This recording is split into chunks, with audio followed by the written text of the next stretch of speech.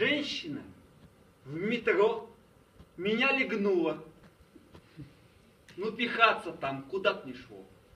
Тут она явно перегнула палку. И все дело перешло в ранг ненужных личных отношений. Я, естественно, в ответ легнул. Но и тут же попросил прощения.